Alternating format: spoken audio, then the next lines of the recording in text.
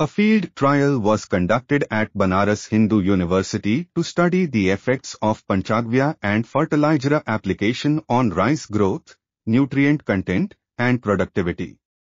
The combination of the 4 seedling root dip plus 1 spray at 30 DAT at 6% plus irrigation water at 60 DAT with 100% RDF significantly increased the number of productive tillers M2 and grain yield by 42% and 33% respectively compared to 60% RDF without Panchagavya.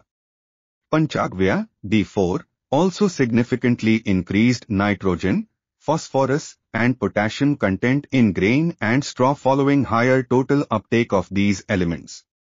Residual effect of Panchagavya, D4, in combination with 100% RDF recorded a 27% increment in the yield of lentil. This article was authored by P.K. Upadhyay, Avijit Sen, S.K. Prasad, and others. We are RTCL.TV, links in the description below.